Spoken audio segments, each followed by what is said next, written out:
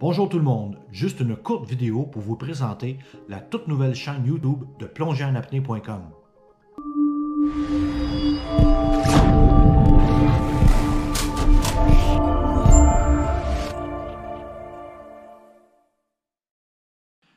Comme vous le savez, à cause de la pandémie, on ne peut pas vraiment voyager, on ne peut pas aller à l'extérieur.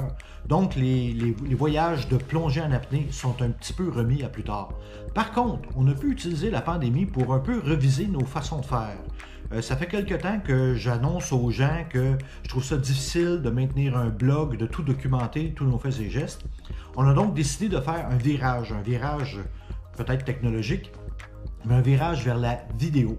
Donc, tous nos futurs voyages vont être documentés par la vidéo parce qu'on peut le documenter sur le fait même quand ça se produit et après tout ce qu'on a faire c'est un montage et vous présenter ça.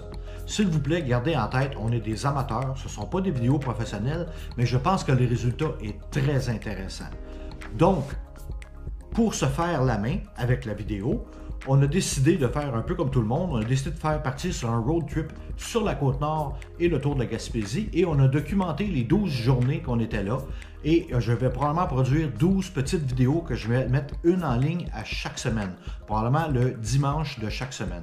Donc pour les 12 prochaines semaines, vous allez avoir des nouvelles vidéos qui vont être présentées, qui vont vous présenter les sentiers, euh, les différents endroits qu'on a visités et j'aimerais avoir vos commentaires. S'il vous plaît, laissez vos commentaires soit sur YouTube euh, ou sur Facebook, mais de préférence sur YouTube. Euh, si vous aimez ça, qu'est-ce que vous aimez pas, nos choix de musique, les prises de vue, est-ce que ça manque de détails? Tout ça est important pour nous parce qu'on commence et les prochains, les prochains voyages de plongée en apnée vont être documentés de cette façon-là. Donc, sans plus tarder, je vous montre un aperçu de ce que vous allez voir au cours des 12 prochaines semaines.